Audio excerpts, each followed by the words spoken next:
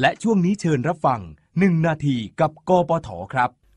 แสงแดดในหน้าร้อนนั้นมักจะแรงจัดจนส่งผลต่ออุปกรณ์ต่างๆ ภายในรถยนต์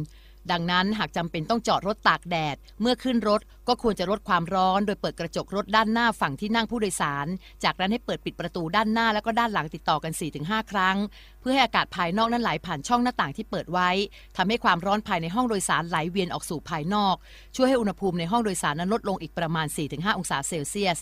ส่วนการขับรถในช่วงกลางวันท่ามกลางแสงแดดแรงจัดนั้นมักจะเกิดปรากฏการณ์มิราดหรือการหักเหของแสงทำให้เห็นภาพลวงตาได้ในระยะไกล